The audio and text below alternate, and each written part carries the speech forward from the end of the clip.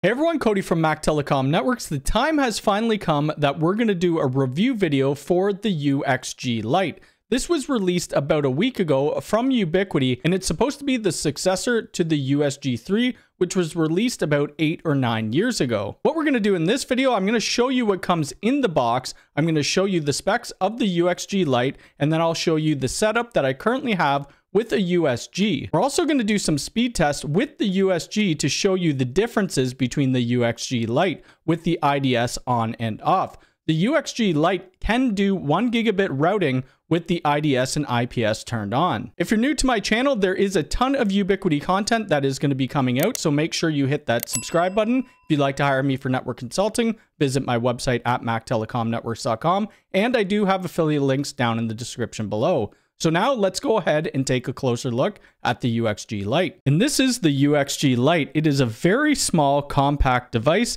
that doesn't come with any mounting options at this time. So you would have to have your own shelf or put this on a desk.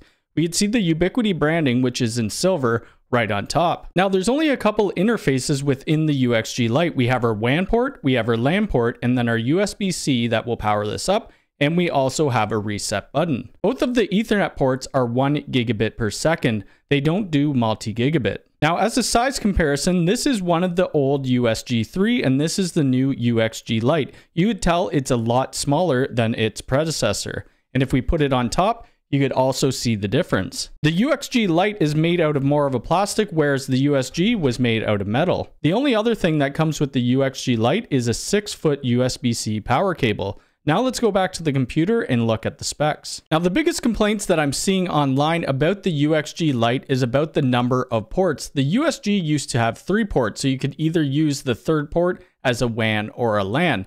Ubiquiti does offer different devices if you need that. Also, if you need multi-gigabit, you'd want to go to the UDM Pro, UDM SE, or the UXG Pro. This is more of an entry level device. If you're looking at getting this device and you need a secondary WAN, you could always get the ULTE or something like a cradle point. The Gateway Lite is currently only available in the United States. In the Canadian store as well as the Europe store, it shows coming soon. It is sold out in the United States, but it comes in at $129 USD. The USG 3 is $139. So the Gateway Lite, we could do up to 10 times routing performance over the USG, and this was tested with IDS, IPS, QoS, and Smart Queues.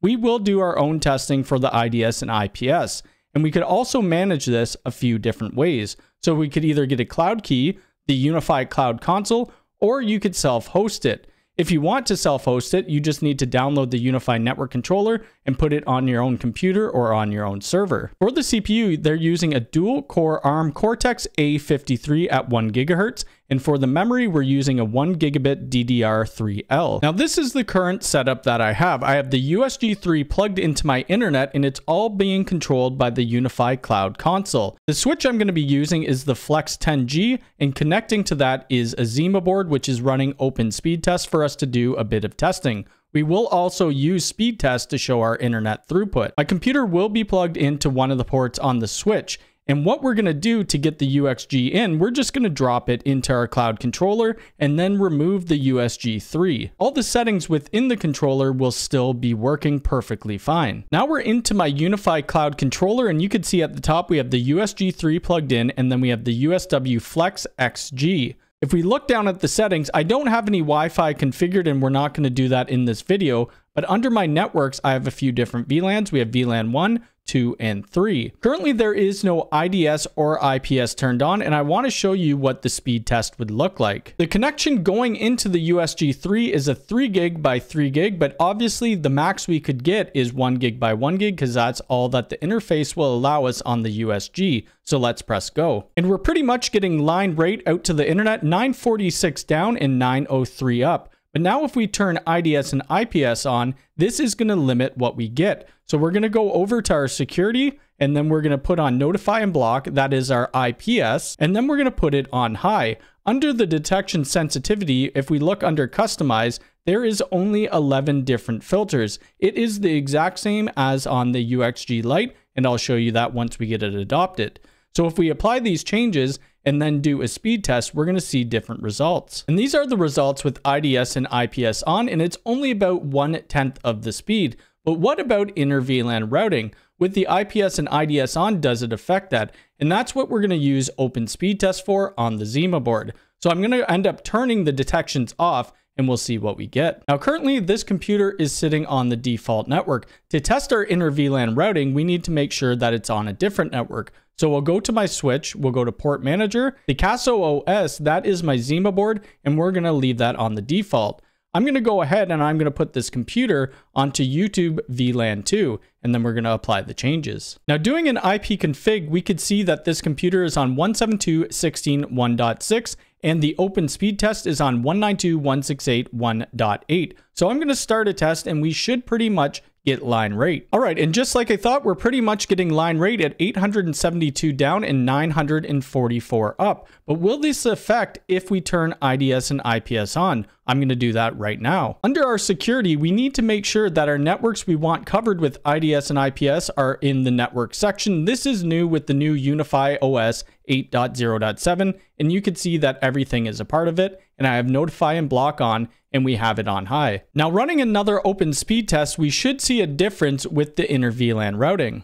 Again, on the USG, we're only getting about one-tenth the speed, so 131 down and 125 up. So now what we need to do, we need to get the UXG Lite into our cloud controller. And what I'm gonna do, I'll bring the camera over, I'll show you me swapping it out, and then we'll have to adopt it by my phone. So this is the little test setup that I have for this video. We got my USG, we have the switch, and then we have the Zima board. Here is the UXG Lite, and you might not be able to see that little light, but it is in a factory default state as it's white. It will turn blue once it's adopted to a controller.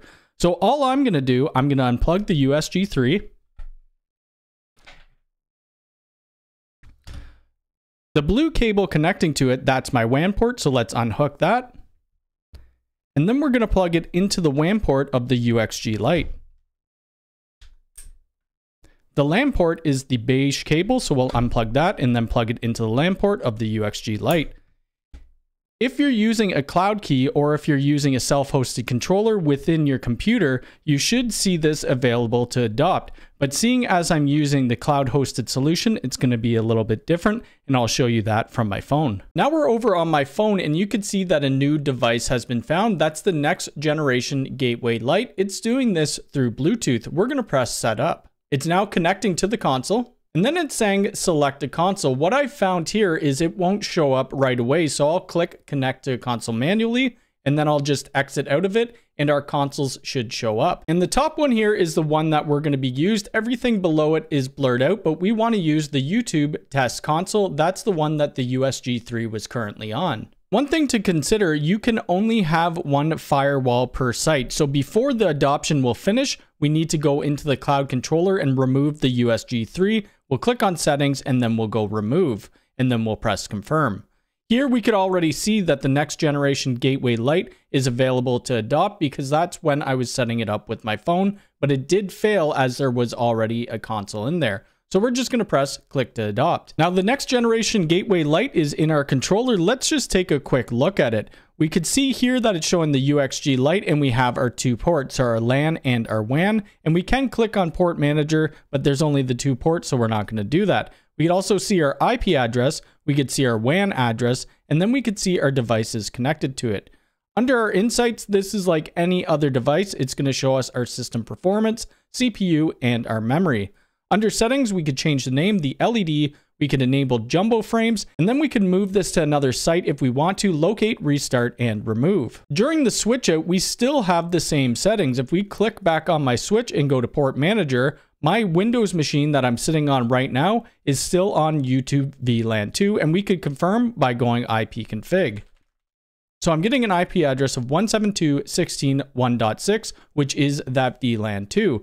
So now let's go ahead and do some testing with it like we did with the USG 3. Now with everything set to default as well as my computer on the default network, let's do a speed test. We should get line rate. These results were similar to the USG. We're getting 946 down and 861 up, which was a little bit less than the USG. Now let's turn on the IDS and IPS. Here you can see that we have notify and block on and it's on high, the exact same as before. If we look at the detection sensitivity, you could see that we still have those same 11 filters. Now seeing as the gateway Lite is marketed as being 10 times the performance as the USG3, we should pretty well get line rate with the IDS IPS turned on. And those results are a lot better than the USG. The USG was in the mid 100s as where we're getting 946 down and 854 up. Now let's test the inter VLAN routing. Now back over at the open speed test, my computer still is on default. We have IDS and IPS turned off, so we should get line rate. Let's start the open speed test.